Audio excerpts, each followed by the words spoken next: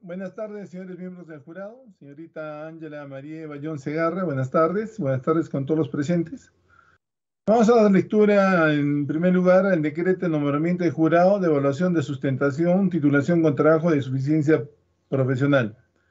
Decreto número 003076-4, EPI 2021 en el que dice que visto el expediente presentado y en concordancia con lo dispuesto por la ley 30220, los artículos 57 y siguientes del Estatuto de la Universidad Católica y el reglamento de la facultad, en uso de facultades concedidas, se decreta autorizar la sustentación del trabajo informe bachiller de la señorita bachiller Ángela María Bayón Segarra, quien va a sustentar su trabajo de eh, suficiencia denominado Actividades de Mejora de gestión en empresas de transporte de concentrado de cobre Arequipa. El jurado está integrado por los siguientes docentes. Presidente, quien habla, Osvaldo René Rodríguez Salazar. Vocal, el doctor Abraham Arturo Pacheco Viado. Y secretario, el doctor Marco Antonio Yaza Loaiz. Bien, este acto tiene tres partes. En una primera, la graduando, usted hará uso de un tiempo de 40 minutos para exponer su trabajo, sus alcances y conclusiones. En una segunda parte, el jurado examinador hará las preguntas que considere pertinentes y finalmente procedemos a deliberar. Bien, este, señorita Bayón, puede empezar con su disertación. Ya, buenas tardes con todos ingenieros, qué bueno verlos después de tantos años. Voy a empezar. Eh, voy a saltar un poco la parte teórica porque ya hemos revisado y vamos a, quería dar una introducción un poco hablando sobre mi experiencia laboral. Desde que me bachilleré hasta la fecha, eh, he desarrollado cargos en proyectos y luego ya en el área de, transporte, ¿no? Entonces, este, este trabajo específicamente es el de analista de operaciones que realicé en la empresa de transporte Transaltiza y para el proyecto de transporte de cobre para las Bambas. Entonces, cuatro años de trabajo ahí me dieron este, la oportunidad de poder realizar diferentes este, mejoras que lo hicimos en trabajo en equipo con los gerentes, con los jefes. Entonces aquí estoy poniendo un poco de todo lo que hemos hecho eh, también para que podamos sustentar eh, las funciones del ingeniero industrial. ¿no? Acá también pongo mi perfil de puesto y acá hablo un poco sobre eh, qué funciones he hecho que van de acuerdo con el perfil del ingeniero industrial. ¿no? En principal, lo que es la formación académica, hemos desarrollado tecnologías este, proactivas y eficientes para tener nuevos sistemas emergentes que hemos visto y vamos a ver en el capítulo 5 de este informe.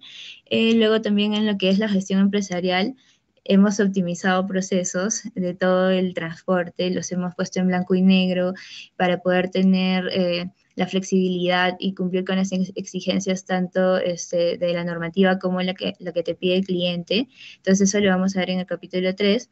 Y también hemos aplicado herramientas de scorecard, dashboard, donde hemos podido definir también los principales indicadores de gestión, que eso tampoco no se tenía muy claro, y eso lo vamos a ver en el capítulo 4. Después este, planificamos y organizamos diferentes proyectos de implementación que los vamos a ver en el capítulo 5 y 6. Y también hicimos un programa muy interesante que fue de gestión de incentivos, que fue un adicional que hicimos para el personal, para que ellos, eh, aparte de cumplir ¿no? con sus funciones diarias, se les daba un incentivo en orden de cumplimiento de ciertos, ciertos estándares de seguridad. Y finalmente hicimos una gestión de penalidades que nos permitió este, tener un beneficio para la compañía porque eh, ustedes saben que con, contratos de este tipo, con algún incumplimiento, eh, surgen ciertas penalidades, entonces nosotros logramos gestionarlo para que a cada año este, estas se vean reducidas. Entonces, esto es lo que vamos a revisar rápidamente. Nuestra área de desenvolvimiento fue el servicio de transporte, de operaciones logísticas y netamente lo que es la distribución física de materiales, en este caso peligrosos, por el concentrado de cobre. Acá está el contenido, que es la metodología, que bueno, el marco teórico lo vamos a saltar un poco y vamos a irnos a lo que es la descripción y los principales problemas del transporte. Vamos a ver un poco del mapa de procesos, como les comenté, los indicadores operativos, que procedimientos automatizamos una vez que ya definimos el procedimiento y algunas este, demoras, decidimos eh, automatizar ciertas actividades sobre el programa de incentivos y sobre la gestión de penalidades. Y bueno, finalmente las conclusiones y las recomendaciones.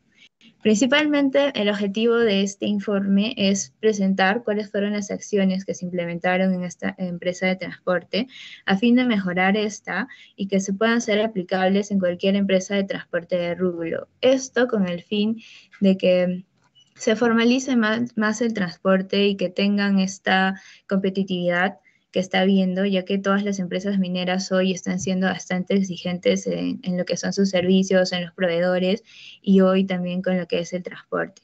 ¿Cuáles son los objetivos específicos? Ver cuáles eran las principales problemáticas del transporte, cuáles son las causas de esta problemática, ver el mapa de procesos y los procedimientos principales para la gestión de transporte, que son estándar, solamente cambian en función al rubro, en función al cliente, ¿no? Pero hay cosas que son fijas. Luego desarrollar indicadores de gestión. Con esto este, hablamos de indicadores diarios, semanales y mensuales que permiten tomar este, decisiones oportunas, ¿no? Entonces, esto también se implementó. También vamos este, a hablar sobre la automatización de los principales procesos de reportes y este, desarrollar el programa de incentivos de personal. Esto también para que los operadores eh, tienen esta expectativa, ¿no? De aparte de, aparte de su sueldo, recibir un bono por la calidad de riesgo del trabajo que ellos tienen. Entonces, dándoles un bono, un incentivo y premiando que cumplen los estándares de seguridad, este, estamos mejorando también su estilo de vida, mejorando también su cultura de seguridad. Entonces, por eso también lo que consideramos importante y también minimizar lo que es el impacto de penalidades. Acá pusimos un objetivo de minimizarlo por lo menos en un 70%, pero vamos a ver ya en los resultados a cuánto llegamos a minimizarlo. Bueno, la misión y la visión de Transaltiza, que bueno, fue contribuir a la competitividad del cliente, la misión, construyendo constituyéndose en el mejor referente en el quehacer empresarial y la visión que es ser una empresa líder a nivel eh, latinoamericano en brindar soluciones logísticas y, y sistemáticas. Hoy yo ya no me encuentro trabajando en Transaltiza, pero yo sí debo agradecer la oportunidad que me dieron, eh, los cuatro años de trabajo y por lo cual hoy estoy haciendo este informe laboral, ¿no? Entonces voy a pasar lo que es este, el marco teórico. Y vamos a hablar de frente en lo que es el servicio de transporte que fue combinar a las Bambas. ¿En qué consiste? Para estar un poco este, en línea todos, Principalmente es el transporte de las bambas, que está en Apurímac, hasta la estación de Pillones, que está en Arequipa. Esos son aproximadamente 458 kilómetros de recorrido. Y para hacer este transporte se hace en un round trip de tres días y también puede trabajarse en un round trip de dos días. En este entonces nosotros lo trabajábamos en tres días y que consiste en que salimos de las bambas el día uno, llegamos a Espinar, duermen los operadores de Espinar el día siguiente salen, descargan en pillones, retornan a Espinar con unidades vacías y al día siguiente, en el día 3, están regresando a las bambas, de Espinar a las bambas. Entonces, esta es la primera parte, este transporte bimodal, ¿no? Porque después ya en pillones eh, hay un transporte vía tren, donde los contenedores cargados se mueven de pillones hasta Matarani esos son aproximadamente 14 horas que demora el tren en llegar hasta Matarani para la descarga. Entonces, en total, lo que se demora las bambas en entregar su concentrado a puerto son aproximadamente cuatro días. Acá les hablo un poco, estas son imágenes de lo que fue, de lo que es la carga, el transporte, la transferencia en pillones y cómo es la descarga en Matarani. Y esto es en sí lo que es el transporte que les comentaba el día 1, día 2, día 3 y esto se trabaja con tres grupos de operadores con sus respectivos relevos y tres grupos de flotas, ¿no? Em, ¿Cuánto transporta las bambas? Ellos actualmente transportan 125 camiones día, que son 4.250 toneladas día y 127.000 toneladas mensuales. Esto repartido en empresas de transporte. Em, en ese entonces, eh, hasta mayo, eran tres. Hoy este servicio ya lo realizan solo dos empresas y bueno, ¿no? Eh, cada, cada carro tiene capacidad de llevar 34 toneladas en dos contenedores de 17 toneladas cada uno. Y los, los controles críticos y estándares de seguridad que se establecieron en orden de cumplimiento con los decretos supremos y las leyes, que son el cumplimiento de la, documentación, como, no sé, la tarjeta de propiedad, el SOA, los seguros, eh, la documentación de los conductores, licencias internas, STRs, exámenes médicos, ¿no? que que tienen que pasar como cualquier estándar minero, los equipos de protección personal y los equipos de protección vehicular. Esos son, digamos, los, estándar, los estándares que siempre hay en todo transporte. Y los que nosotros hemos establecido para la operación en conjunto con el cliente para mejorar el tema de la fatiga por ser una ruta crítica, eh, están mencionados aquí. Hay controles que son antes de la operación, durante la operación y al término de la operación. Los que son antes de la operación, hoy, por el tema del COVID desde el año pasado, es la prueba COVID, ¿no? Que ellos antes de ingresar al campamento estén negativos, se haga un control de temperatura diaria, el tema del acuartelamiento, todo el personal que va a iniciar la operación debe estar acuartelado ocho horas y media y eso se controla con un biométrico en cada hotel donde ellos este, marcan digitalmente, entonces eso sale para ver quiénes este, están acuartelados este tiempo. Aparte de eso, se les implementa pulseras de seguridad para poder, eh, por medio de sus pulsaciones, ver eh, su frecuencia cardíaca y determinar si están en sueño ligero, profundo. Y con eso más o menos se pone un límite de horas de sueño de seis horas y media.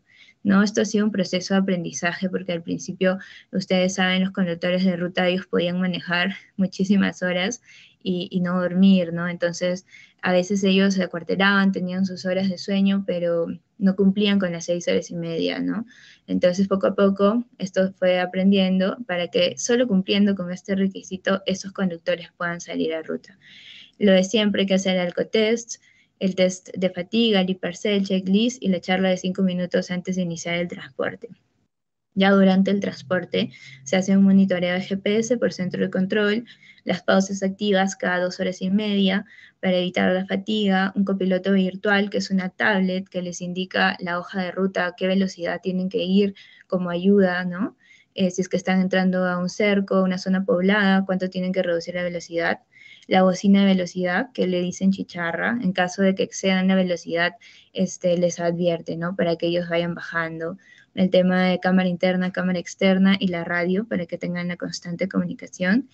Y un tema que se implementó también al término de la jornada, una vez que ellos llegan al destino, es la charla de fin de jornada, que es donde ellos este, conversan las lecciones aprendidas del día, qué pasó, qué fallas hubieron en la comunicación, etcétera, para así todos los días ir retroalimentando y evitar, ¿no? Este, que vuelvan a ocurrir algunos temas este, de comunicación o que pudieron haber en la ruta.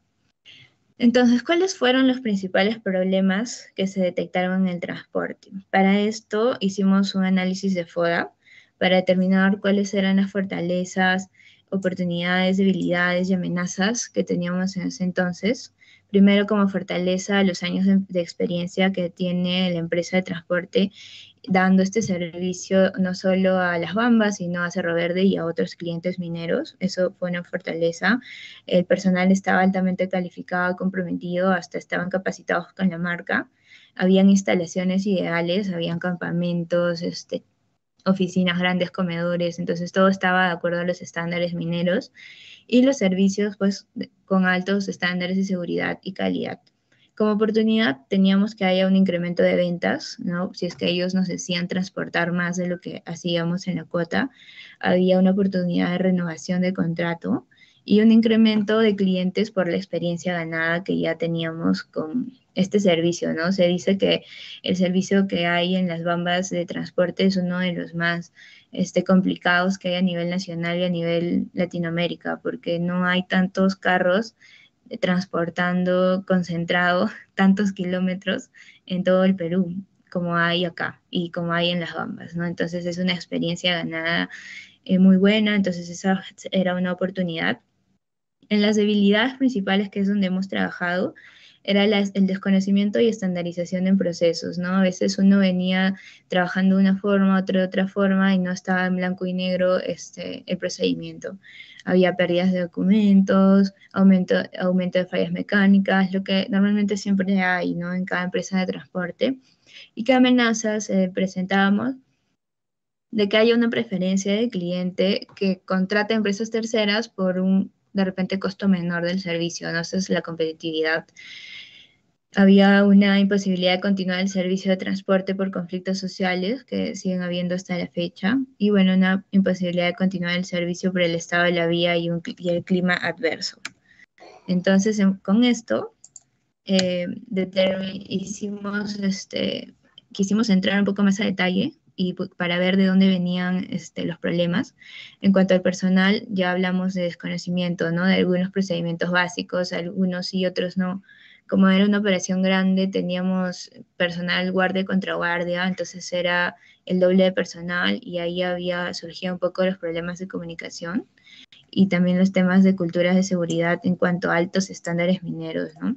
En cuanto a unidades, había pues lo que es pérdida de equipos, pérdida de herramientas, falta, falta de control documentario, ¿no? Cuando se vencían las renovaciones o eran prácticamente 270 carros que teníamos, entonces el control tenía que ser minucioso para esto.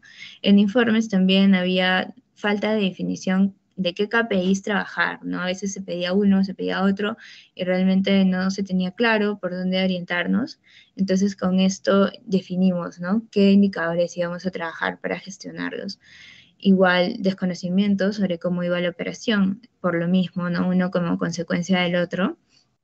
En interacción del personal, lo que le comentaba el tema de comunicación entre áreas, eh, teníamos personal en las Bambas, en Espinar, en Arequipa, entonces eso hacía un poco también difícil la comunicación, a pesar de que había todo este tema de, de la red, teléfonos, internet, ¿no? Entonces, este, suele pasar cuando no hay un protocolo de comunicación este, claro. Temas de factores externos que no eran, no eran tan manejables, como el tema del conflicto social, clima, el estado de la vía, más o menos un 30% de la vía, que es la ruta de las Bambas a Espinar, no está asfaltado, entonces si es que llovía, nevaba o había seca, se, levantaba polvo, entonces todo eso generaba demoras en el tránsito, ¿no? Y en lo que es este, áreas de soporte, falta de coordinación efectiva con otras áreas, había un tema de duplicidad de funciones y a veces habían errores en emisión de información. Entonces todo esto generaba una problemática que era desviaciones en ejecución del transporte. Entonces es por eso que decidimos trabajar eh, en varios talleres con esta información y el primer problema que se detectó es este, ¿no? que no estaban estandarizados los procedimientos. Había el SIC, pero para procedimientos de transporte para otros servicios y no estaban tan claros para las bambas. Entonces, lo que se hizo fue estandarizar estos procedimientos. Vamos a ver ahora cómo trabajamos eso. Y en cuanto al problema organizacional de comunicación, se estableció que la comunicación sea piramidal para que no hayan saltos de jerarquía, etc. Entonces, si había algún problema, el operador iba al líder, que era el escolta, el escolta a su jefe, que era el supervisor de operaciones, y el supervisor de operaciones a su jefe, que era el jefe o gerente de turno. Entonces, así la comunicación era más lineal y ya se evitaban, digamos, pérdidas de información, etc. En cuanto al mapa de procesos, eh, como era bastante tedioso, lo que hicimos fue trabajar eh, con una empresa que contratamos que es especialista en esto, que es TechSoup. Ellos, este, de la mano con una persona también que encargamos para que se encargue de, revisar minuciosamente el paso a paso de, cada proceso, eh, se hizo este mapa de procesos que solamente se detalló lo que son los procesos este, operacionales y los de apoyo. Acá tenemos procesos que también son estratégicos, pero no los, eh, no los graficamos porque eso ya es, digamos, la estrategia del plan estratégico de la empresa. Entonces, como acá solo queríamos trabajar eh, lo que es operacional y la comunicación que tiene que ver con las áreas de soporte para el tema de procedimientos, es de que hicimos esta parte de los procedimientos. Y los principales eran el tema de el inicio de transporte con los controles críticos que les mencioné, el paso a paso, la gestión del rooster, que es la programación del personal, que son eran más o menos 250 personas al día que se programaban, entonces este, más unidades, entonces todo eso tenía que ser sistematizado también y, un paso a paso para que no hayan demoras. Luego, este procedimiento de carguillo concentrado, procedimiento de transferencia de contenedores en pillones, la gestión de guías de remisión, eh, había un montón de control documentario por la cantidad y el volumen, procedimiento de supervisión en ruta, ¿no? Para evitar el tema de desviaciones de la hoja de ruta, incidentes que podían haber, el procedimiento de control de tránsito, que es netamente como centro de control monitoreaba la flota, el procedimiento de checklist e inventario de unidades, y para mejorar el tema de gestión e indicadores, trabajamos dos procedimientos, que es la gestión de informes y reportes y el eh, procedimiento de gestión de actos y planes de acción, ¿no? donde nos comprometíamos eh, estos, son los principales errores, estos son los planes de acción y las fechas, ¿no? Cómo, cómo hacíamos seguimiento a esto, ¿no? Entonces, eh, acá está un poco graficado la operación que les expliqué eh, con, su participación desde las Bambas, Espinar, Morocaki, porque había un campamento en Morocaki donde se detenían para hacer el abastecimiento, y cómo se hacía la transferencia en pillones, ¿no? Lo que está en amarillo viene a ser el día 1, lo que está en eh, verde es el día 2 y lo que está en azul viene a ser el día 3. Esto incluye eh, cómo se levanta el personal, almuerza, hace los controles críticos, perdón, desayuna, hace controles críticos, inician el transporte, ¿no? las pausas activas, todo estaba graficado de esta forma como una infografía para que también sea un poco más fácil para las personas que venían ¿no? y que trabajaban con nosotros.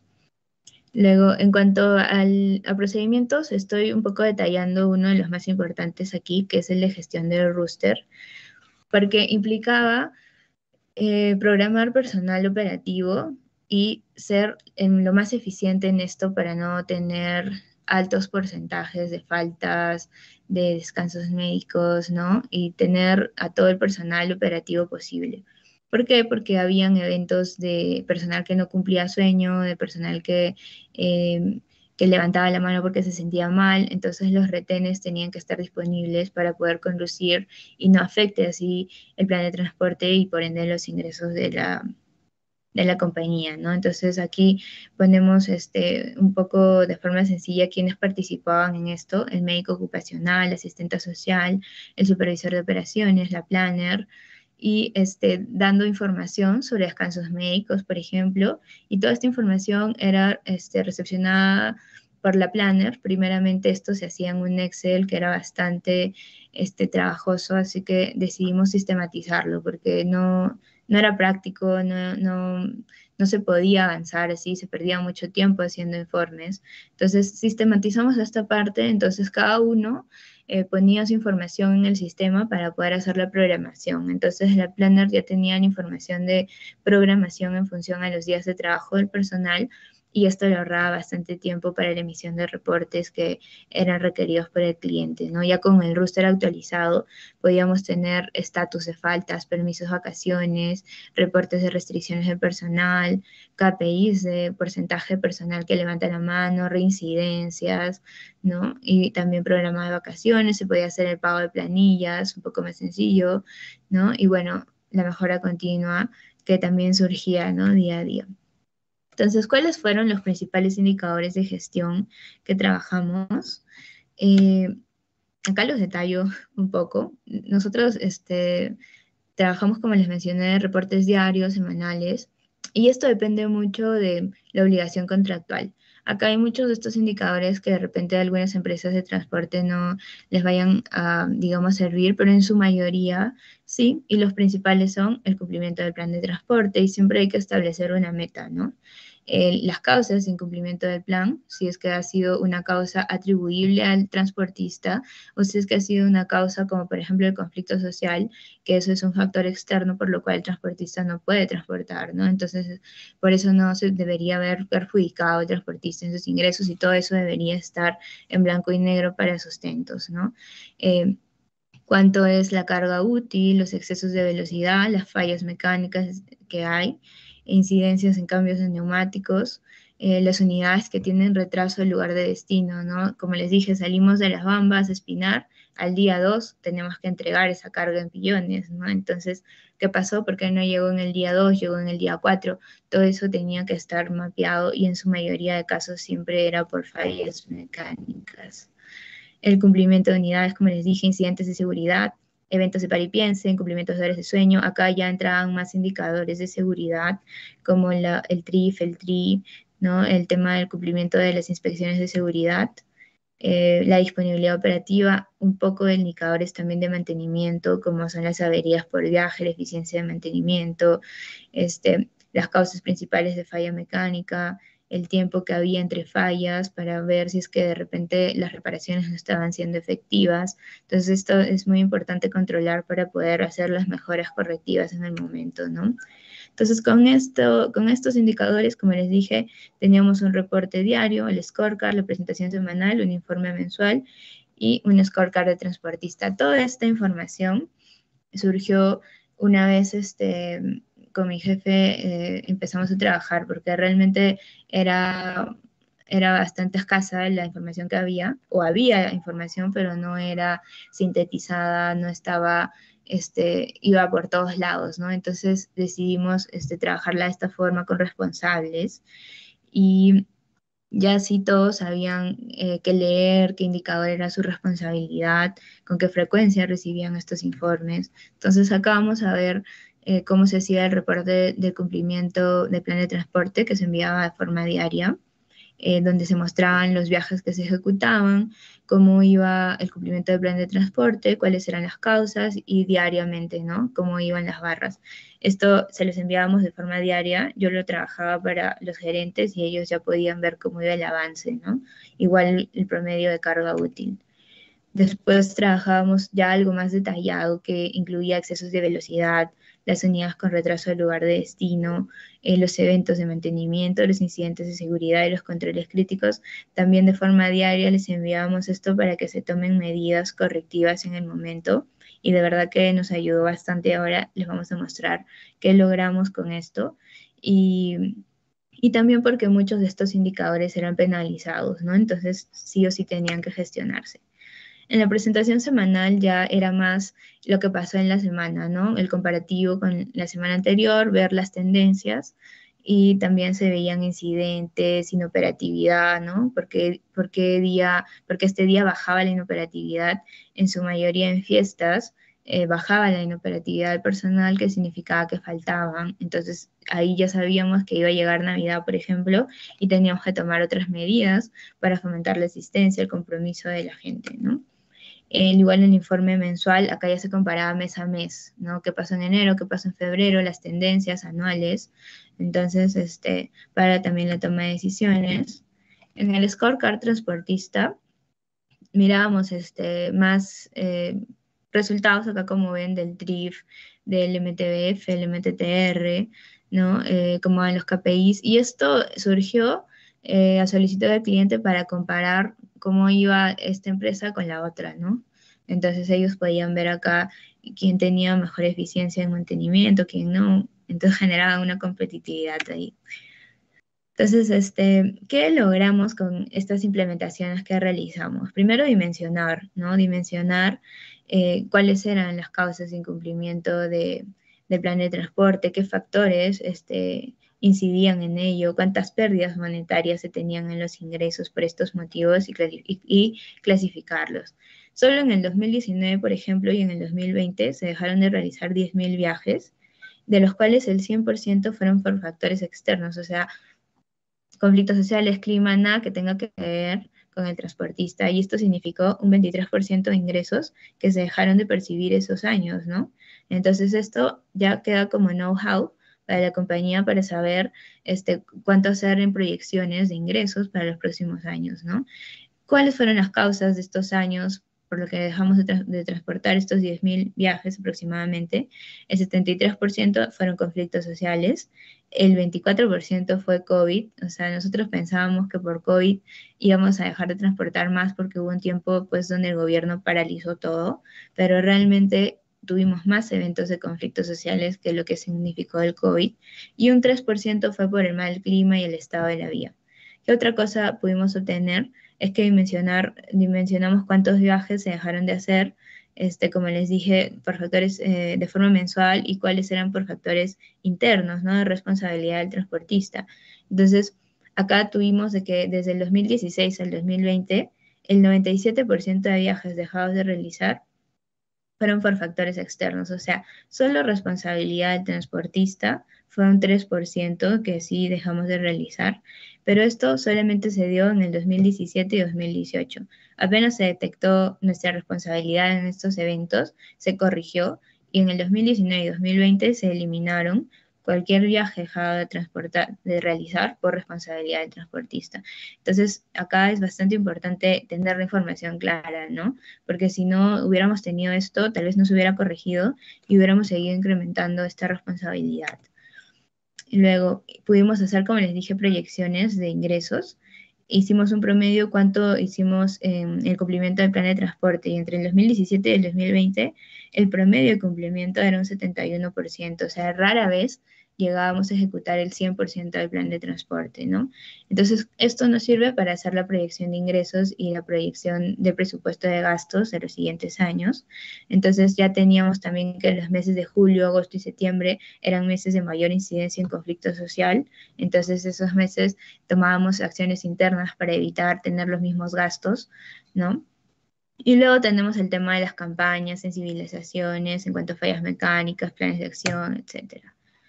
¿Qué procedimientos automatizamos y innovamos? Hicimos un aplicativo de reportabilidad para que en la ruta del supervisor escolta pueda reportar fallas, etcétera, y la información esté a tiempo real. Como les mencioné, el tema de la gestión del rooster de la programación, el tema del sistema de controles críticos, que ya sistemáticamente salía quién había cumplido, quién no, para hacer una programación automática y no demoremos el despacho de la flota y el sistema de gestión de guías para el tema de facturación y las valorizaciones, ¿no? Eso también estaba ya automatizado. Hicimos un requerimiento este, por procedimiento, acá también se tenía que revisar los procedimientos para poder tener los resultados que vemos, por ejemplo, acá en cuanto a la programación ya estaba sistematizado. En cuanto a los controles críticos, acá tenemos que el supervisor ya en la tablet programaba, porque acá había un retrabajo que tenían una hoja eh, salía de la flota y anotaban cómo había salido la flota. Llamaban a la planner y le decían, ya salió tal unidad, tal persona en tal unidad. Entonces, era un retrabajo realmente porque la planner el día anterior ya había hecho una programación preliminar, pero siempre hay ¿no? eventos que suceden al despacho. Entonces, ¿qué hicimos para mejorar esto? Eh, un aplicativo para que el supervisor en la tablet, él mismo ponga los cambios que han habido al despacho de la flota y eso automáticamente ya se va en el sistema de programación del personal. Entonces ahí se evitaba una duplicidad de información, un retrabajo y la información corría mucho mejor. ¿Qué logramos con esto? Mayor integración y compromiso con todas las áreas, teníamos la información en la nube, los reportes ya salían solo con un clic, o sea, ya no teníamos que copiar, pegar, sacar de un Excel. Este, el Excel es muy bueno, pero ya para esta dimensión de, trabajo era requerido otra cosa, ¿no? Este, mayor comunicación, reducción de tiempos, este, había... Em, un desarrollo aplicable que podía ser para otros servicios de Transeltiza y mejorando pues la gestión de la operación y de los indicadores. Eh, luego hablamos del programa de incentivos. Nosotros para poder hacerlo hacíamos una encuesta de satisfacción para ver qué cosa les gustaba y qué no a los operadores. Todos los años los, encuestábamos, ¿no? Y podíamos ver más o menos en qué cosas eh, incidir, como por ejemplo los canales de comunicación, qué premios ellos querían, si es que les dábamos un bono económico en lugar de una casaca o de repente los dos. Entonces eso se trabajó por flota con los objetivos de fomentar una cultura de seguridad, porque como han visto hay muchos controles de seguridad que ellos tienen que pasar, bastante tedioso. Entonces ellos, aparte de hacerlo porque era parte de sus funciones, podían hacerlo porque si cumplían con ello, recibían un incentivo, un bono. Entonces así generábamos una competitividad sana, donde teníamos flotas, equipos, nombres. Entonces evaluamos varios criterios varios criterios, eh, desde la asistencia hasta supervisión en ruta que veíamos en los videos o que se veía en ruta misma. Y la idea era que todos tenían 100 puntos y en función a los incumplimientos se iba bajando, ¿no? Y en función también a los días de trabajo que tenían. Todos los meses se hacía una premiación, excepto los meses de algún evento como conflicto social. O no lo sé, ¿no? Donde no había transporte, entonces por ende no había información. Cada mes teníamos un tema de incentivos, donde por ejemplo en enero que es frío les regalábamos chompas, en febrero el tema del clima, este, en marzo maletas de viaje, o sea, cosas que ellos necesitaban y que también podían compartir con su familia. No se premiaba todo el personal, ¿no? Esto se hacía un presupuesto para premiar aproximadamente a unas 80 eh, personas al mes de más o menos 600, ¿no? O, o, 500 personas que teníamos, pero conforme ellos iban cumpliendo, al final, en su mayoría, algunos siquiera recibían un incentivo, ¿no? Entonces, para esto trabajamos bastante infografías, tarjetas de felicitación, que queríamos hacerlo bastante dinámico. A esto es lo que llegamos desde un trabajo que empezó en 2017, bastante minucioso, ¿no? Entonces, ya eh, hoy logramos hacer algo más aterrizado, donde ellos ya conocían que se les evaluaba. Entonces, era algo bastante bonito de hacer para ellos, ¿no? Como diferente, incentivándoles, pues, este, el labor riesgoso que tenían todos los días. Y, sin querer, o bueno, sí queríamos, porque era uno de los objetivos, lográbamos mejoras en la gestión, ¿no? Por ejemplo, en el 2017 al 2018, el 75 del personal tenía una calificación entre buena y muy buena. Y los siguientes años ya no era el 75 de personal, sino era un 97% de personal. O sea, significaba que ya todos iban cumpliendo mejor eh, los estándares de seguridad, incidían poco en faltas, entonces iban mejorando en ese aspecto, ¿no? En cuanto a excesos de velocidad también, se, se redujo bastante, en el 2017 era un 50% y en el 2020 bajó un 5%, en cumplimientos de sueño igual, este, en el 2017 el 6% de personal incumplía las horas de sueño y ya en el 2020 bajó un 2%. El tema de faltas, eh, siempre se maneja un porcentaje, ¿no? Pero acá se, ve que había un 38% de faltas y baja a un 25% en el 2020 en lo que son documentos, porque también ellos son responsables de eh, gestionar su licencia de, de, manejo, ¿no? Que esté al día. Entonces, en el 2018 no teníamos tanta incidencia porque la información recién volvió, empezó a controlarse en el 2019 y en el 2019 fue un pico, pero después bajó en el 2020 un 33%, entonces redujo también, porque también se les controlaba, ¿no? Si no tenían su documentación al día, se les descontaba algún puntaje. Y en incidentes de seguridad también, ¿no? De un 42% que había en el 2018, baja a un 26% en el 2020. En observaciones planeadas de conducta igual, estos son actos subestándares que ellos presentan en videos, entonces, este, era un 59% y cuando se dan cuenta que ya los estamos visualizando por medio de las cámaras, ya baja un poco en el 2020 un 41%. Tampoco le podemos, este, acá discrepaban algunos criterios, ¿no? Pero ya ellos sabían de que se estaba manejando. Y lo más importante era la eh, observación en ruta, ¿no? Si es que había un supervisión en ruta que estaba visualizando cómo el convoy transitaba y en una curva cerrada se adelantaba, eso era un acto subestándar, ¿no? Hubo bastantes picos en el 2018, 2019 y empezamos con este control fuerte, tanto que en el 2020 se redujo a un 12%, entonces ya la gente sabía lo que tenía que hacer, ¿no? En cuanto a la gestión de penalidades, este, se definen indicadores clave, ¿no? Disponibilidad operativa, retraso lugar de destino, cumplimiento de documentos, excesos de velocidad, y se define un procedimiento con el cliente para evitar que esto sea una pelea, sino más bien eh, un compartir de información porque hay responsabilidades que asumir, ¿no? Entonces, hay, nosotros decidimos manejar toda la información que tenga que ver con esto para poder sustentar en caso corresponda o no corresponda, porque tampoco íbamos a aceptar algo que no, no veíamos este, razón, ¿no? Entonces, con esto, los resultados que obtuvimos fue que en el 2018, que tuvimos el pico de, penalidades que nos dieron, esto fue un 60% y apenas implementamos esto de sustentar la información que correspondía a cada indicador, redujo considerablemente al 2020 a un 7% de penalidades. Entonces, eh, la incidencia bajó bastante y en el mismo 2018 fue desde el segundo trimestre que se redujo y en el cuarto trimestre ya solamente era un 1%. Solo el primer trimestre del 2018 fue que más nos penalizaron hasta que tomamos pues las medidas correctivas. y cuáles eran los factores que más nos penalizaban y, y afectaba bastante, era el tema de disponibilidad operativa, o sea, no tener unidades eh, para transportar. Y como les dije, esto fue solo en el 2017-2018, se corrigió y a partir de 2019 y 2020 no tuvimos más este, eventos de penalidad por, eh, porque no habían unidades, ¿no?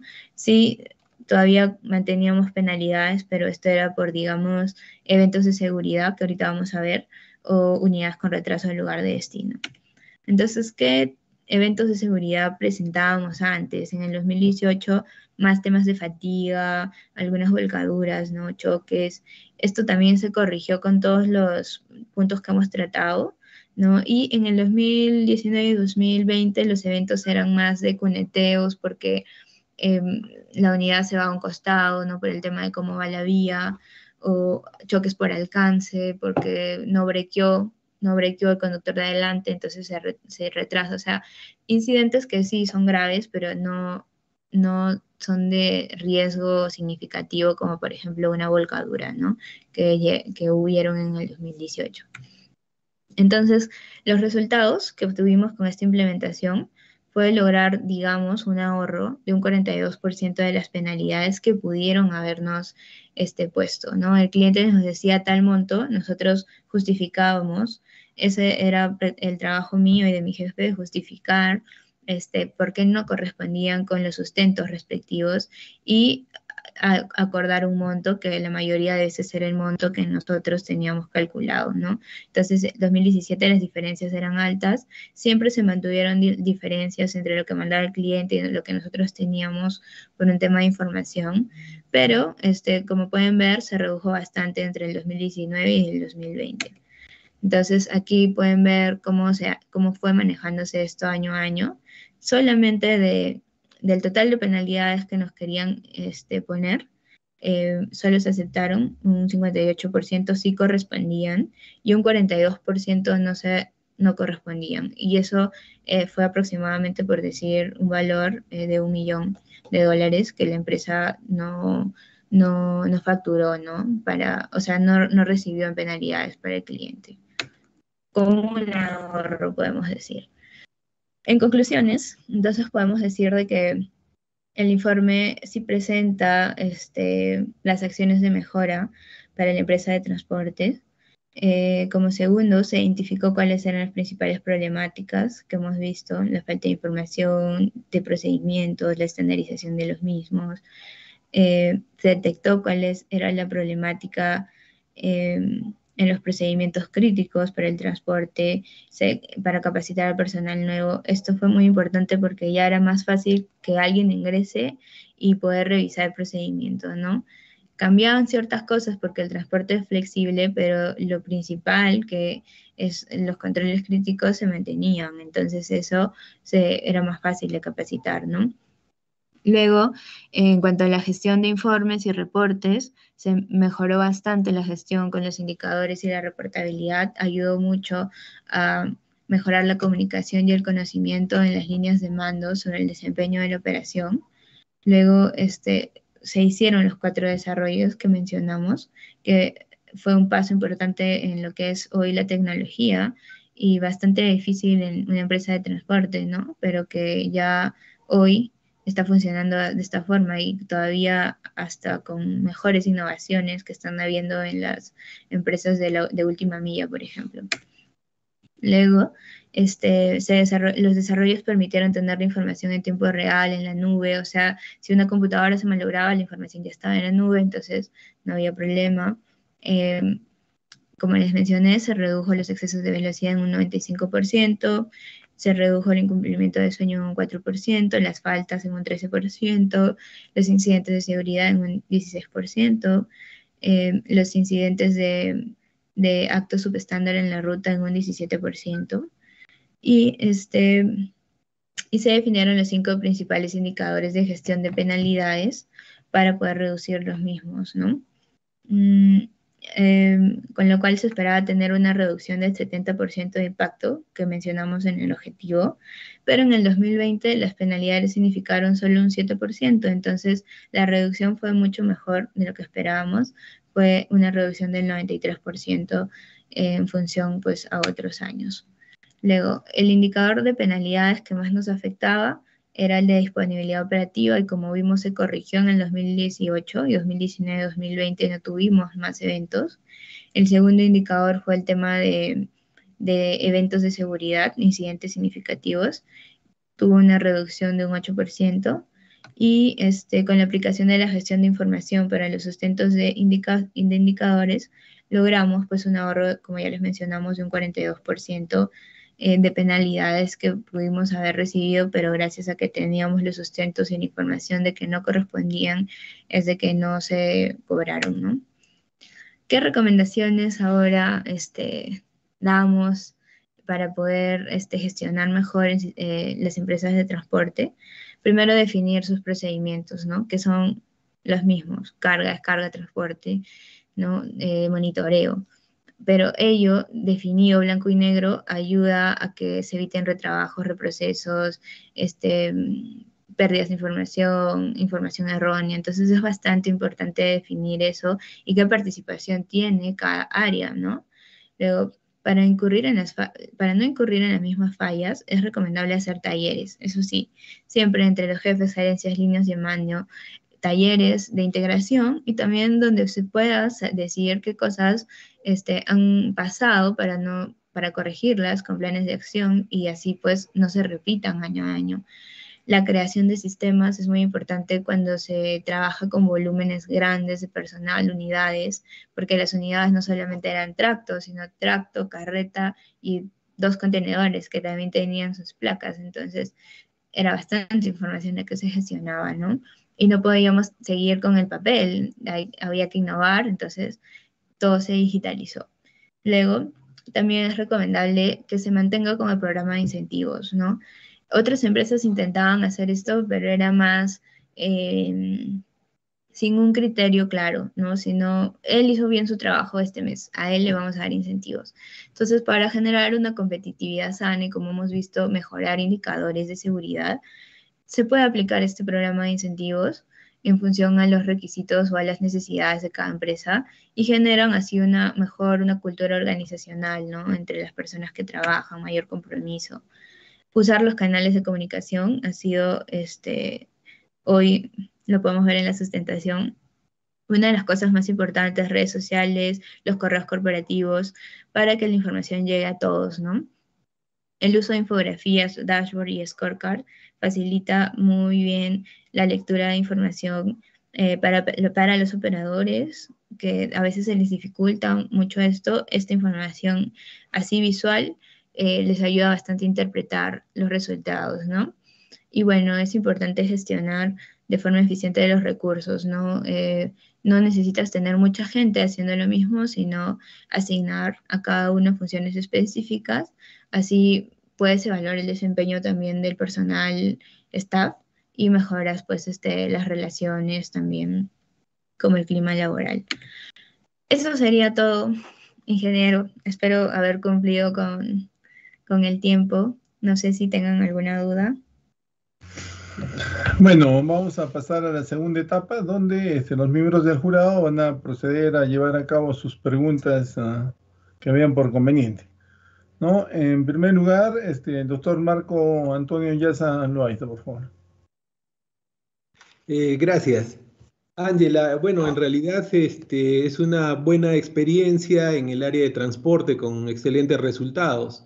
Me gustaría, este, por ejemplo, que nos comentes cómo es que eh, se hace la selección del personal, porque el personal operativo, siendo los choferes, tampoco es que haya una cantidad muy grande de choferes, eh, me imagino profesionales con cierta categoría, experiencia y demás. ¿Cómo, cómo hace Transaltiza esta, esta primera selección? Eh, por ejemplo, para nosotros, en la época en la que estuve en infraestructura, fue, era muy difícil conseguir choferes con la categoría de A3 y, y, con experiencia y que además tuvieran un historial, pues, este, un récord eh, eh, adecuado, ¿no? Entonces, en el caso de ustedes, siendo que había tal cantidad de, personal, ¿cómo es que realizan esta, esta, este, esta labor? No le voy a decir que fue fácil, fue bastante difícil, pero hoy hay una escuela, una escuela de cinco años de transporte de los operadores, entonces sí hay este personal. Pero ¿cómo fue en ese entonces? Em, primero que los requisitos del cliente sí eran que tenga récord cero, eh, licencia A3B, este, cinco años de experiencia en el transporte de materiales peligrosos. Entonces, eh, como el transporte inició paulatino, mientras iba ingresando el personal, iban recibiendo cursos de inducción que más o menos, si lo contratabas el día 1, el conductor recién manejaba a los 45 o 50 o hasta a veces 60 días después. Nunca iba a la ruta sin haber pasado todos estos cursos de capacitación que Transaltiza con sus instructores y también con las empresas de capacitación, que fue TechSoup, que fue otra empresa que también estaba ahí, eh, les daban los cursos de manejo en condiciones adversas, la misma marca Inter también los capacitaba en cómo funcionaba la caja, ¿no? Este, cómo hacer los cambios, es caja de 18 cambios, entonces los señores sabían porque venían de manejar sus trailers en rutas cortas, en otros servicios, ¿no? Pero en un servicio de esta magnitud, pocos tenían la experiencia. Entonces es por eso que el proceso de selección al principio y hasta ahora era bastante tedioso, demoraba bastante. Entonces por eso el transporte empezó con 20 unidades, 30 unidades, 40 unidades, hasta llegar a la magnitud final, ¿no? Entonces poco a poco, igual dentro de la planilla, una vez ellos pasaban todos los exámenes de manejo y de inducción porque los capacitaban, daban examen, antes de salir a conducir también hacían un reconocimiento de ruta con el instructor, entonces iban al lado del instructor haciendo reconocimiento de todo el circuito donde les enseñaban, esta es la hoja de ruta, a tanta velocidad tienes que ir acá, a tanta velocidad ir acá, a este cambio ir acá, ten cuidado con esto, ¿no?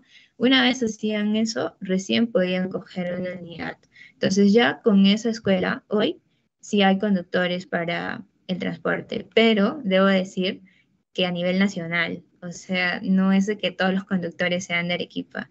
Hay conductores de Ica, de Lima, de Trujillo, de Cusco, de Apurímac, de todas partes del Perú que vinieron para hacer este servicio de transporte que hoy lo siguen haciendo ellos. De acuerdo.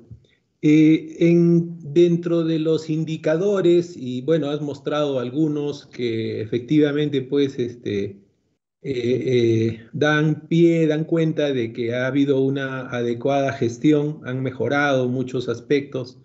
Me gustaría ver qué indicadores, por ejemplo, en el, en el tema de seguridad y salud ocupacional o indicadores relacionados con este tema de seguridad y salud ocupacional ya que estas rutas son bastante largas y cansadas, ¿no? Son, son rutas que en realidad, este, me imagino, la hacen con pausas, relevos y demás. Eh, de repente nos puedes comentar un poco cómo, eh, cómo manejan ustedes el tema este de seguridad, salud, el tema de pausas, el tema de, de, repente de, control también de enfermedades ocupacionales para el personal operativo. Aquí em,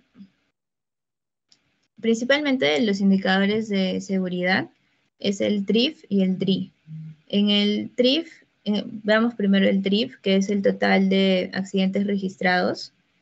FA significa accidentes de primeros auxilios, o sea, qué accidentes han habido que requieran primeros auxilios. Accidentes con tiempo perdido de lesiones, o sea, qué accidentes hemos tenido con lesiones. Luego el RWI, que son lesiones de trabajo restringido, como usted dice, muchos tenían temas lumbares y este, lesión de tratamiento médico. Entonces, con el TRIF y el DRI, nosotros controlábamos cómo iba, ¿no? La meta era cero, teníamos que tener cero porque no podíamos este, hacer que el personal tenga incidentes con tiempo perdido o, o este, con que requieran primeros auxilios, ¿no? Entonces, las tareas, la tarea de seguridad era más preventiva. Teníamos un área de salud ocupacional primero, antes de ingresar, todos pasan por examen médico para ver cómo va el tema de su salud actual. Y este, en las sillas de los, de los, este, de los camiones, muchos podían llevar el espaldar y la parte de abajo del asiento para que no les acuda mucho. Y también dentro del programa de mantenimiento estaba la inspección de los asientos del conductor. Entonces ahí ellos revisaban que la vibración y los resortes estén funcionando adecuadamente para que no tengan este tema de, de, lumbalgia, ¿no? Aparte de eso, ellos trabajaban bajo un rooster que tenía días de descanso, entonces no es que toda su vida por siempre conducían, ¿no? Conducían 12 horas al día, que es lo que dice la ley, trabajaban por nueve días y descansaban seis días. Entonces, esos seis días de recuperación. Si alguno de ellos presentaba parte de eso, porque muchos, a pesar de que eran sus días de descanso, trabajaban porque tenían sus propios carros, ¿no? Particularmente, algunos seguían trabajando. Entonces, el médico ocupacional se encargaba de hacerle seguimiento y ver si es que estaban habilitados para conducir, ¿no? Si es que no estaban habilitados para conducir, no subían porque ellos tenían que saber que la prioridad era su salud por eso es de que había una política que se llama para y piense, ¿no? Que es antes de conducir, ellos se detenían y decían, me encuentro bien, si, si no, no conducía, ¿no? Entonces, y tampoco les convenía, ¿no? Porque se quedaban en la sede sin hacer nada y no recibían de repente el bono de, de, de, de, trabajo que normalmente se les da cuando conducen todos los días, ¿no? Entonces, a veces se quedaban en casa, eh, perdón, en sede y, bueno, entonces ellos con eso fomentaban más el cuidado de su salud para evitar pues este, enfermedades que sí han habido, ¿no? Porque son gente que ya tiene mínimo 10 años de experiencia en otros servicios, entonces ya vienen con temas... Eh, médicos que no, no hay nada que hacer más que frotaciones, masajes, etcétera, ¿no? Pero en cuanto a la ergonomía, hasta el, hasta el área de mantenimiento este, participaba en esta etapa. De acuerdo. Y, este, y Ángela, coméntame, en la parte de tecnología, por ejemplo, eh, ya hay pues ciertas eh, herramientas tecnológicas que detectan el, eh, la posibilidad de sueño, el, tema de, cansancio, fatiga. Eh, ¿Ustedes qué, tipo de, herramientas han, adecuado para ello? Al principio, eh, primero el biométrico del acuartelamiento, luego, como les mencioné, la pulsera de sueño, que por medio de las pulsaciones ven este, cuánto sueño ligero y sueño profundo han tenido las personas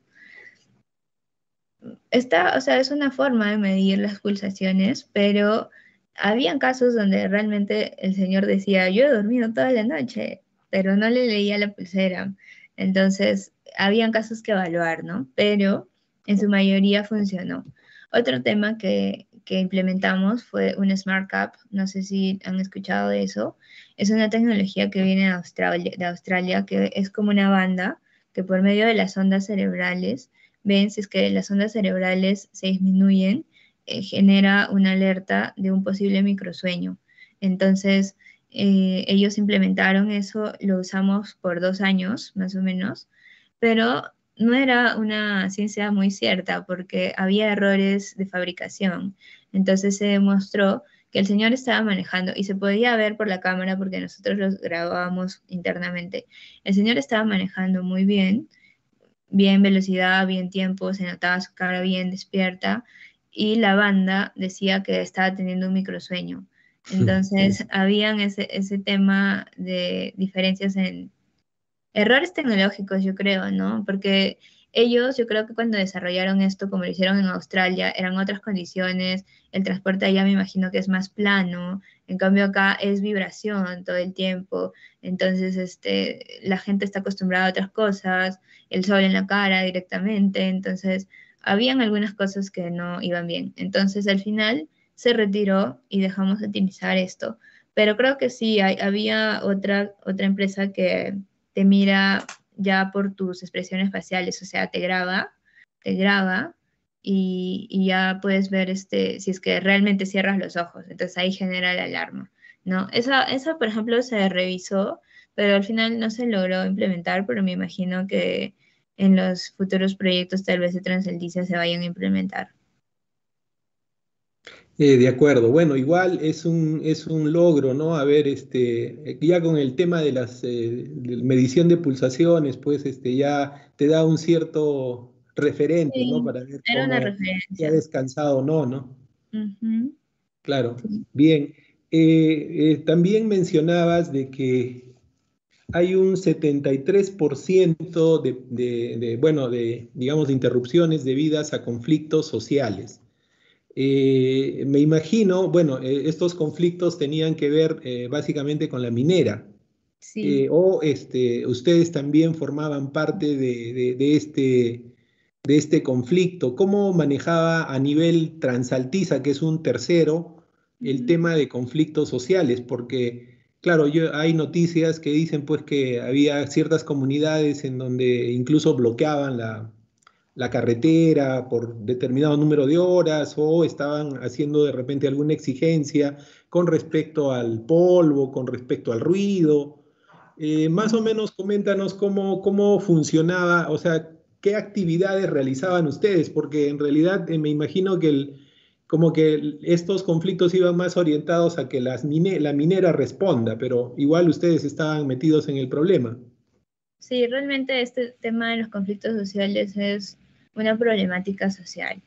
A pesar de que eh, cada participante de este proceso tiene obligaciones como programas de ayuda social, este, campañas de invierno, donde damos este, a diferentes zonas de frío abrigo, eh, bibliotecas, eh, contratación a personal de la zona, eh, contratación de proveedores locales.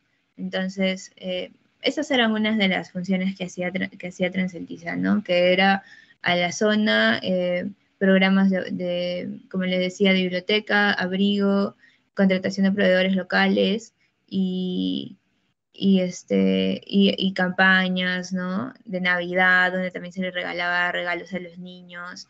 Entonces teníamos dentro de nuestras funciones un programa de desarrollo sostenible, así le decimos. Pero este tema que tienen las bambas con el corredor minero ya escapa, digamos, de las manos de lo que podíamos hacer o dejar de hacer, ¿no? Hasta yo me he quedado en la vía botada con tantos viajes que hemos tenido, nos hemos quedado varias veces ahí por algún conflicto social.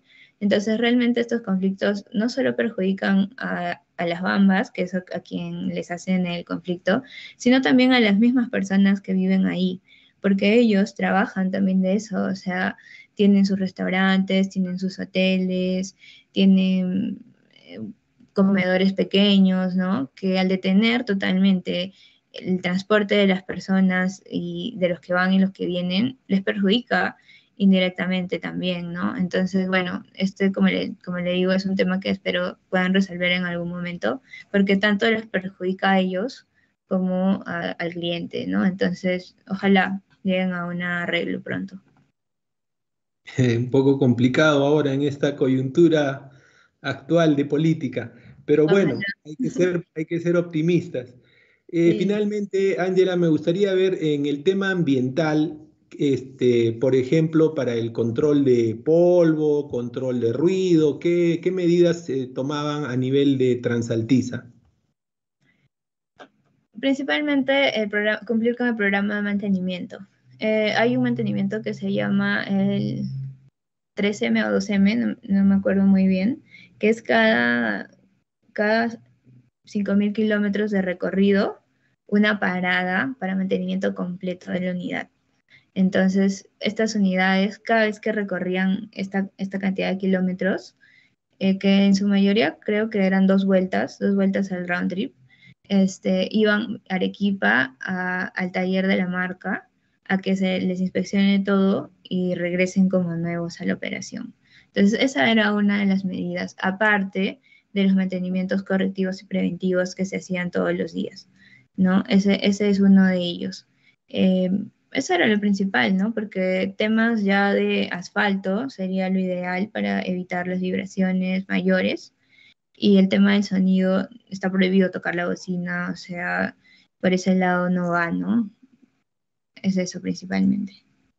Ya, pero no, no, no veían medidas de mitigación ambiental en la ruta. ¿De emisión de CO2?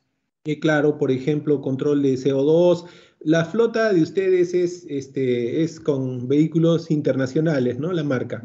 Sí. Eh, bueno, es una buena, buena, buena, un buen vehículo de transporte, pero este, hay flotas, estaba viendo que hay flotas ya que trabajan eh, con, con transporte más ecoamigable, ¿no? Incluso había este, de repente una, un bajo, bajo en emisiones, bueno, no tanto al, al, llegar a transportes eléctricos, ¿no? Por la magnitud del, del, camión me imagino que debe ser mucho más complicado, pero, pero en el tema este de control eh, de emisiones, por ejemplo, eh, ¿cómo, ¿cómo, ustedes lo, lo, lo, revisaban? ¿Cómo lo, lo mejoraban?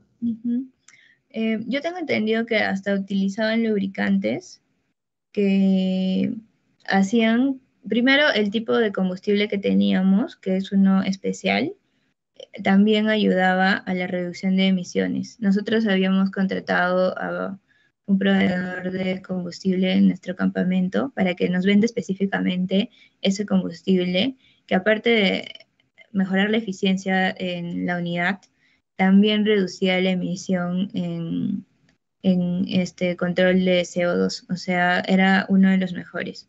Entonces, por ello teníamos también una tarifa especial con la que trabajábamos y, y, por eso no abastecíamos en ningún otro lado que sea ese. Ese era uno de los controles. El otro control, como le digo, era los repuestos, casi todos eran de la marca, no se, no se hacía em, otro tipo de repuestos. Eh, se cumplía con los programas de mantenimiento y se hacían correctivos y preventivos para que la unidad llegue a este kilometraje eh, a pasar por, por Arequipa en el taller y salir como nuevo, ¿no? Esos eran principales, los principales controles de mitigación que se hacían.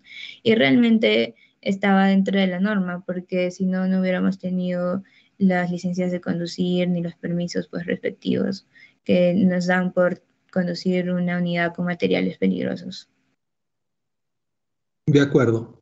Muy bien, Ángela. Este, por mi parte, esto sería todo, ingeniero Osvaldo.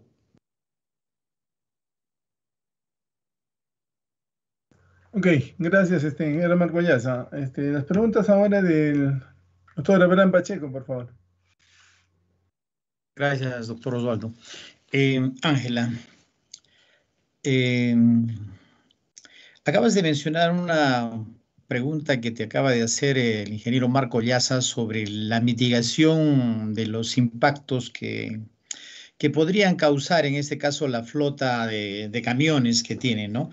Y mencionaste eh, lo del combustible. ¿Es un combustible? Eh, mencionaste que era un combustible especial. No, es lo que entendí. La verdad que me parece que, o sea, sí utilizan el combustible, pero aparte tienen como un lubricante especial que le mentiría que no me acuerdo muy bien el nombre. Yo en el área de mantenimiento, que era todo un mundo, solo recibía... Debe ser un aditivo, Ángela. Eh, eh, yo estuve trabajando en Texaco y había unos aditivos especiales que se le agregaban al combustible y que tenían pues alguna particularidad en ese, en ese aspecto, disculpa. Eso sí, mismo, el aditivo, perdón. Perdón, el aditivo, sí. Y en cuanto al combustible que usan los, los vehículos, ¿había un control del combustible? Porque eh, normalmente da la idiosincrasia de nosotros los peruanos. Eh, yo he visto anteriormente que en empresas de transporte, los mm, choferes o el personal lo que hacen es sustraer ese tipo de el, combustible, ¿no? Y lo comercializan de alguna otra manera. Ahí dentro de eso ustedes tenían algún indicador, controles sobre lo que es el, combustible, el, uso del combustible, el tiempo de recorrido que debe durar, supongo, ¿no? Sí, claro. Lo que se hacía era, se tanqueaba la unidad como para que dé la vuelta de Morocaki a, Espinar, las Bambas, descargue y regrese a Morocaki de nuevo a abastecerse.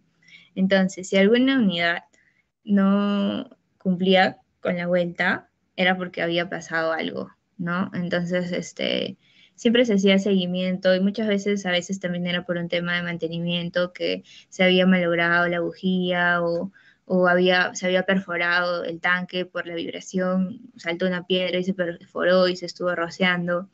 Entonces, ¿qué control había? Solamente abastecían algunas personas que eran las responsables del grifo que teníamos en Morocaki y todos los días ellos emitían un reporte de abastecimiento.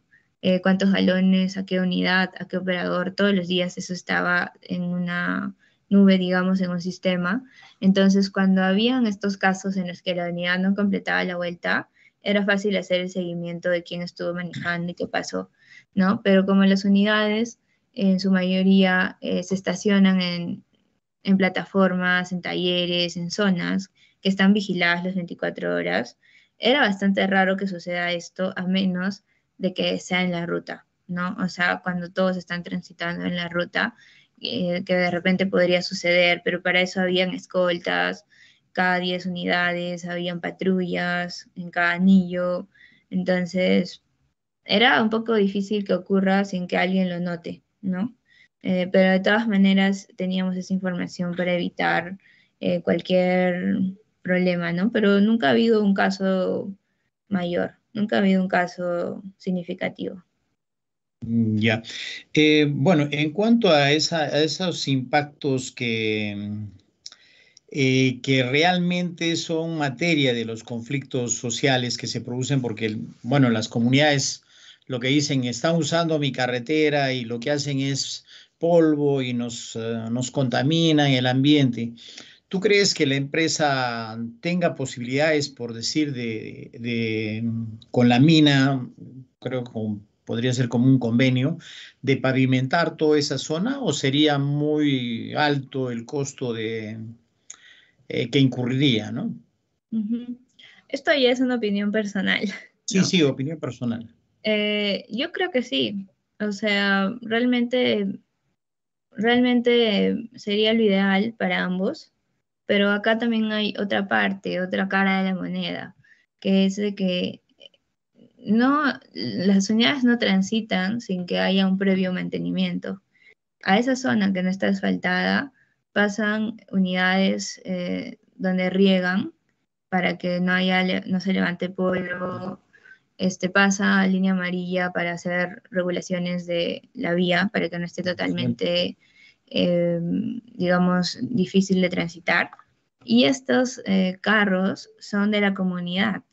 Entonces, eh, de repente asfaltar esto es dejar que estas personas tengan también ese trabajo, ¿no? Entonces, por eso es de que hay... Y van a, van a seguir creando conflictos. Entonces, por eso es que hay, yo creo, ahí ese problema, eh, pero sí sería lo ideal para todos, para que no haya más ruido, no haya más polvo, a pesar de que se toman estas medidas preventivas, ¿no? Ojalá lleguen a algún acuerdo pronto. Sí. Eh, una, una eh, consulta, diría yo. En el, eh, bueno, en el indicador que estás poniendo ahí, cumplimiento de entrega de unidades a destino. O sea, tú pones que la meta es 100%, ¿no? Entonces, eso involucra que, que si yo entrego el 100% no debería tener volcaduras, choques, nada de eso, ¿verdad? Claro, todo el cumplimiento de, de los indicadores es en orden a los estándares de seguridad. O sea, Nunca se va a hacer algo perjudicando la seguridad y la integridad de las personas, que es lo principal. ¿no? ¿A qué nos referimos con esto? Es de que siempre hay unidades que se retrasan y detectar la causa. ¿no? Eh, ¿Por qué la unidad que cargó el día 1 no llegó el día 2 y llegó el día 3? Cuando él hace seguimiento a esta unidad es porque tuvo una falla mecánica.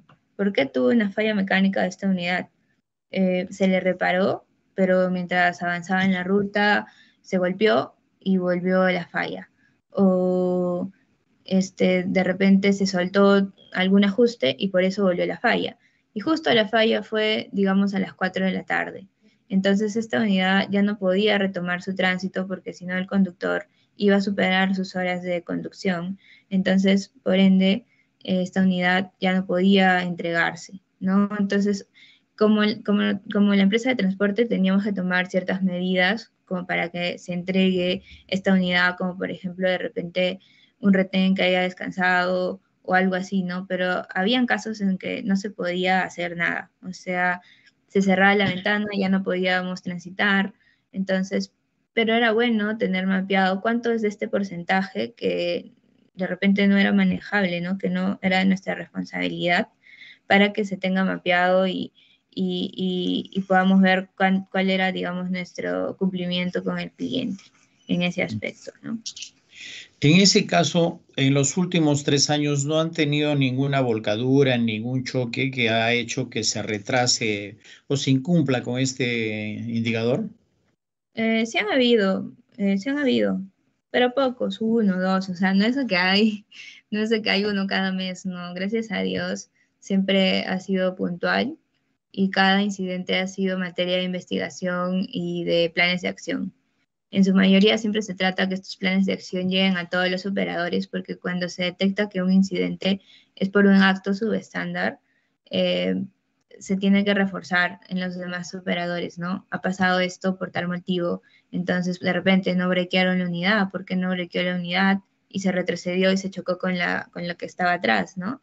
¿Qué pasó? Entonces nadie es perfecto, pero para este tipo de trabajo que amerita responsabilidad y sobre todo está en juego la vida de ellos mismos, es de que se tiene que incidir, incidir y seguir capacitando con videos, con infografías, con todo lo que se pueda a la mano para que entre en la cabeza de todos, ¿no? Y, bueno, ha habido, como les mostré, uno o dos, un par, pero esto se redujo bastante. O sea, muchos de los cuneteos que han habido, volcaduras no han habido, me parece, desde el 2018, 19, pero cuneteos sí eran frecuentes por el estado de la vía. O sea, si llovía y se acercaba mucho, justo estaba en una curva, y se acercaba mucho a, la, a, la, cuneta, por el peso de la unidad, cedía y se iba, ¿no? Y sacarla, a veces depende de la hora, ya era imposible que esa unidad entrega el día siguiente la carga, ¿no? Entonces, son cosas que hay que tener mapeadas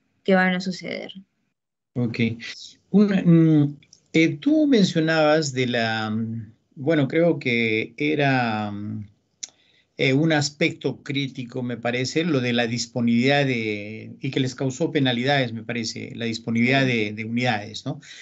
Esas esa disponibilidad de unidades que tuvieron, ¿cómo solucionaron? O sea, ¿invirtieron y adquirieron más unidades o contrataron terceros? Eh, no, lo que hicimos fue mejorar el programa de mantenimiento. Eh, eso era, cumplir con el programa de mantenimiento, los mantenimientos programados que correspondían, eh, utilizar a la marca como soporte para los mantenimientos, a la marca tanto de, de tractos como de carretas, ¿no? Porque de repente el transportista puede hacer el mantenimiento, sí, pero nadie mejor que la marca lo haría mejor, ¿no? Porque ellos son los que conocen las eficiencias de las unidades.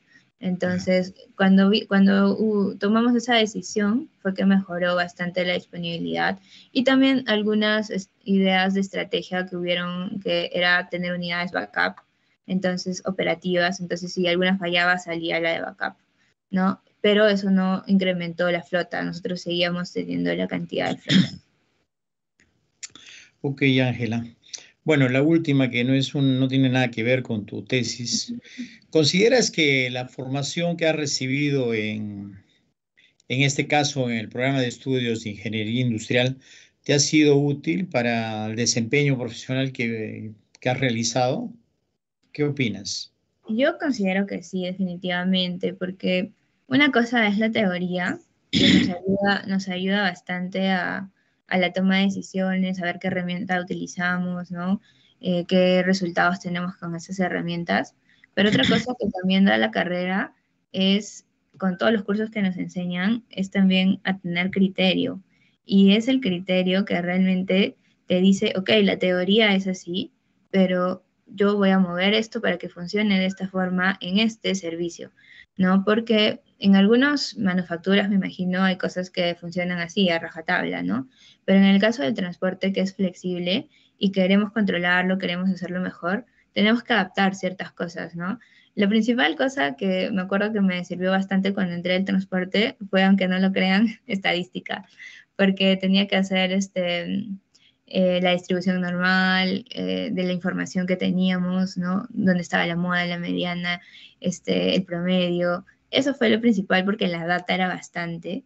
Entonces, y ya después a eso, este, los indicadores, el tema de costos para ver las tarifas, em, todo eso, ¿no? Y yo creo que yo entré a Transaltiza sin experiencia en transporte, sí tenía experiencia en logística por el anterior trabajo que tuve, pero no en transporte pero el valor agregado que puedo decir que yo tuve fue que gracias a que ellos me enseñaron cómo funcionaba el transporte y más mis conocimientos que también tuve en la anterior empresa en la que estaba sobre metodología de trabajo, sobre procedimientos, sobre orden en emisión de cartas, en emisión de información, es de que pudimos llegar este, a lo que hemos tenido, ¿no? Y también con ayuda al cliente que que nos daba ¿no? la información que ellos requerían, eso también nos hacía a nosotros ordenar mejor la información.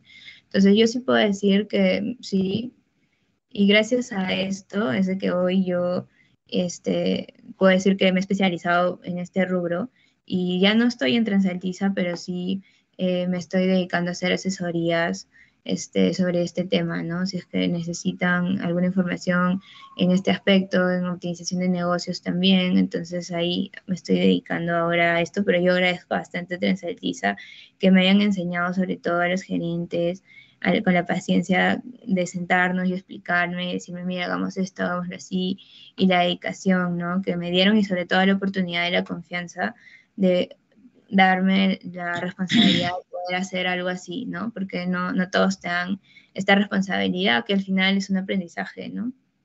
Yo lo valoro bastante. Qué bueno.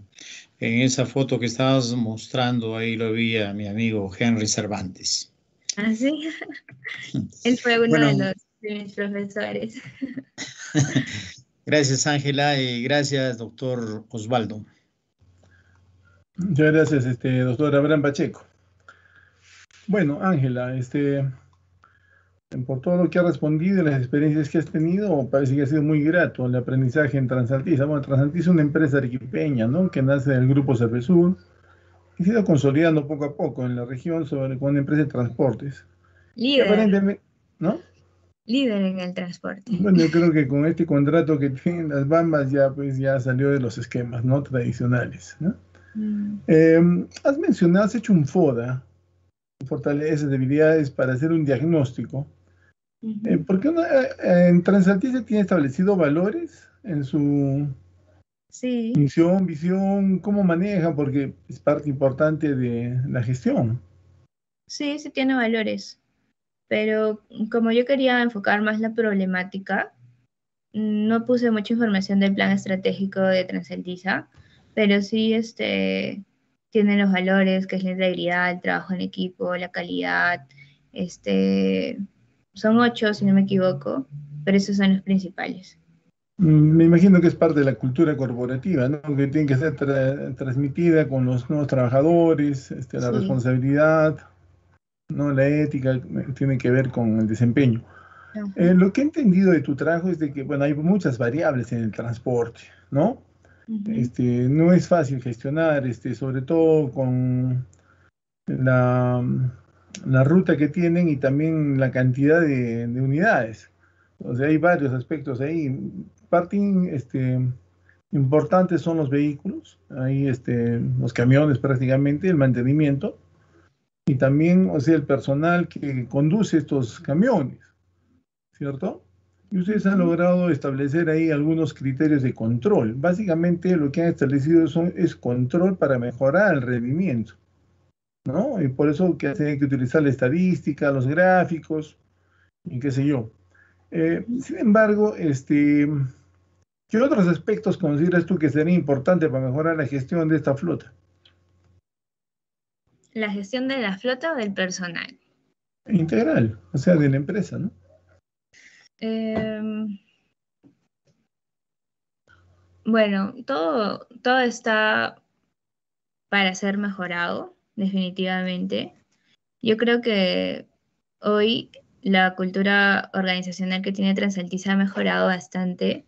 No he hablado mucho de eso porque ya es este, información más interna de la empresa, pero información que podemos ver en las redes sociales que ellos publican de campañas que hacen con las esposas de los trabajadores, hacen campañas de vacaciones útiles con los niños, hacen competencias, maratones, donde hacen que tanto los trabajadores como sus familias se integren a el trabajo que están haciendo. Y por qué Transaltiza tiene esa misión o esa visión de integrar a las familias de los trabajadores en esto, porque si la familia del operador apoya concientizar al operador en lo importante que es su seguridad y su trabajo, eh, van a estar todos bien, ¿no? Porque si el operador al momento de conducir, antes de tomar una decisión, piensa en que la consecuencia que le podría ocasionar a su familia, esa mala decisión que él podría tomar en el momento que está conduciendo, se detendría a pensarlo dos veces antes de hacerlo.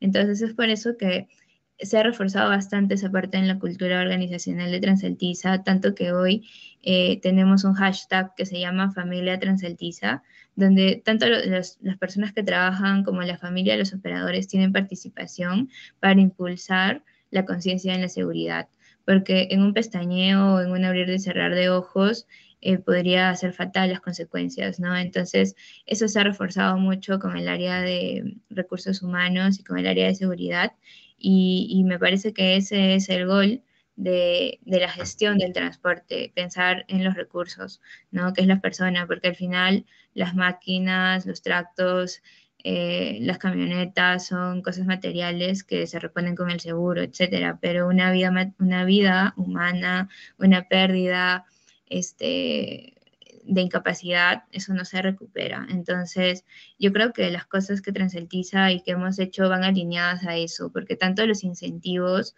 como las campañas que hace el área de, recursos humanos van alineados a eso, ¿no? En el cumplimiento y en el cuidado de su integridad. Entonces, yo creo que va por ahí, ingeniero. Claro, bueno, definitivamente la gestión del talento humano, no hacerlo partícipe, que sea responsable porque muchas veces hay choferes porque son irresponsables, ¿no? Conductores de que tienen que conducir de noche y todo el día están haciendo actividades y después, este, obviamente, no los detectas a veces, ¿eh? Y ahí vienen por las fallas humanas, ¿no? En este tipo de actividades. Eh, has hablado de conflictos, bueno, perdón, antes de pasar a conflictos, ¿cuál es el grado de siniestralidad que tiene la empresa? O sea, debe tener eh, algún porcentaje mediano, no sé. ¿O, es bajo? No es, alto, la verdad, es bajo.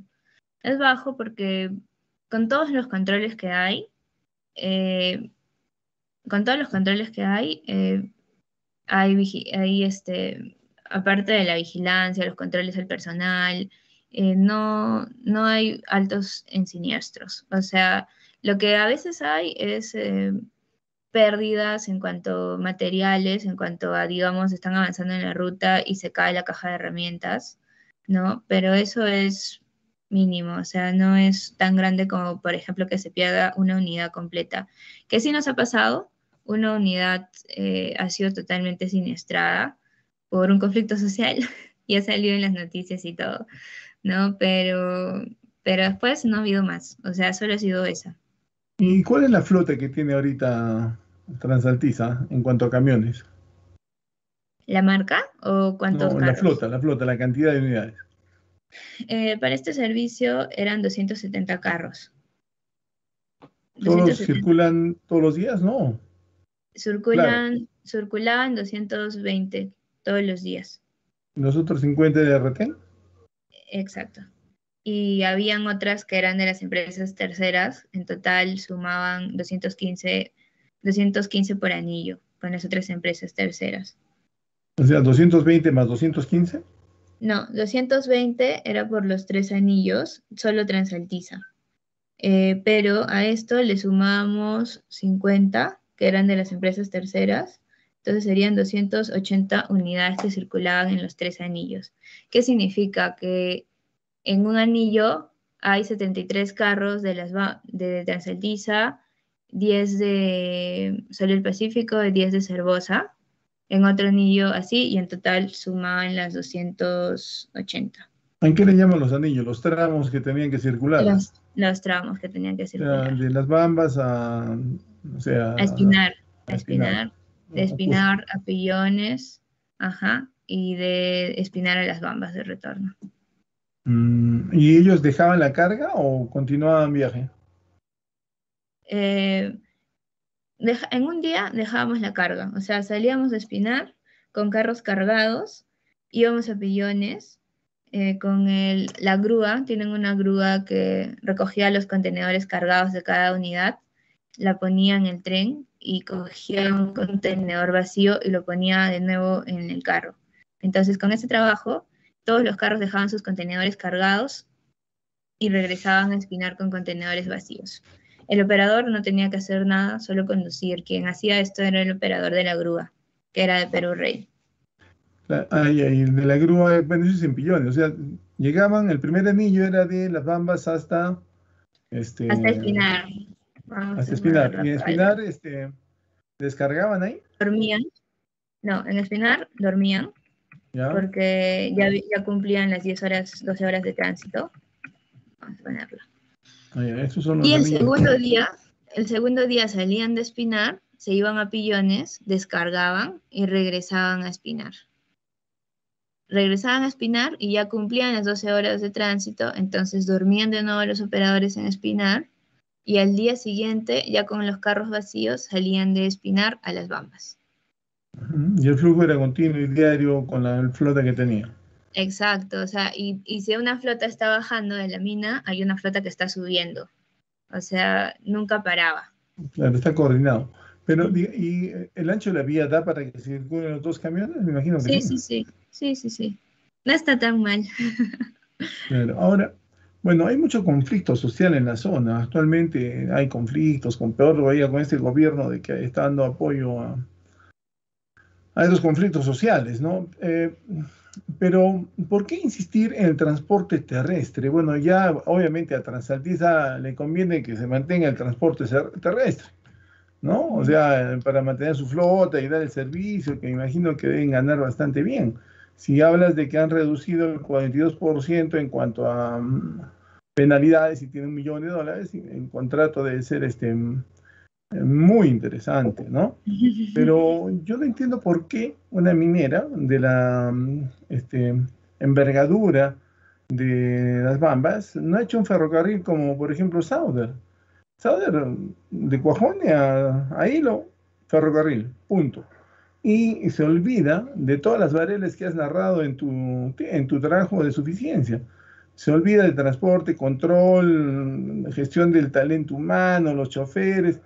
Disminuyes un 70% hasta el costo. Mm. ¿no? ¿Cuál es tu opinión? ¿O, ¿Por qué no han cambiado de sistema? Y así también mata los conflictos sociales, porque ya no circulas por sus carreteras, que le mata a sus alpacas, este, bueno, lo que quieren es, es plata siempre, ¿no? Pero no, entiendo, o sea, ¿cuál sería el argumento por el cual no han construido su ferrocarril? Si prácticamente llegan a Pillones y ahí usan el ferrocarril de Perú Rey. Y el tramo no es tan largo, ¿no? ¿Qué sabes tú al respecto? Eh, bueno, mi apreciación personal, de nuevo, es de que mm, definitivamente sería un impacto social grande que no transporten por por eh, transporte terrestre porque, como les decía, es un beneficio también eh, para la comunidad porque hay alimentación, hay hospedaje, hay más trabajo, hay personas de la zona que están trabajando. Entonces, hacerlo por medio de ferrocarril, eh, todas estas personas quedarían en el aire, entonces habría mayor, yo creo, conflicto en la zona. ¿No? seguro hay proyectos, me parece que sí hay proyectos, pero ya estaría pues en manos de las bambas tomar la decisión que les convenga mejor, ¿no? Pero eso es lo que considero yo, ¿no? Porque son tantas personas que se verían afectadas, ¿no? En, que ya no se transite de esta forma, que perderían el trabajo y que luego dónde serían colocadas, porque estas personas han sido capacitadas para transitar y hacer este servicio. Entonces se desaparece y faltaría eh, trabajo para ellos, ¿no? ¿En qué parte del Perú harían este, esta gente, dónde se colocaría, ¿no? Entonces, eso sería, bueno, mi apreciación, mi opinión sobre este tema, ¿no? Claro, hay un costo social, pero si tenemos en cuenta la siniestralidad y los conflictos, habría que hacer un beneficio costo, sí, tendrían que analizarlo. Bueno, tu trabajo en realidad me ha logrado satisfacer, está bien, has utilizado bastantes herramientas de gestión industrial para hacer el diagnóstico, creo que sí ha sido fructífero, siempre Transantis es una pequeña escuelita para lo que es transportes, ¿no? Tengo, tengo muchos egresados que han pasado por ahí, colegas también que, han pasado por ahí, y bueno, y ahora como ha crecido, pues obviamente tiene vigencia en el mercado, ¿no? Eh, bueno, eso sería creo que todo, Ángela. Eh, no sé si alguno de los otros miembros del jurado, el doctor Marco Yaz, el doctor Alvaro Pacheco, tiene alguna pregunta. Por mi parte, no. Ok. Abraham. Bueno, aparentemente no. Eh, tampoco, tampoco, tampoco. Ya, ok, listo, gracias. Bien, esta segunda etapa ha culminado, ¿no? Te agradeceríamos que por favor nos dejes un ratito en la sala para poder deliberar, este, señorita Ángela María Bañón Segarra. Ya.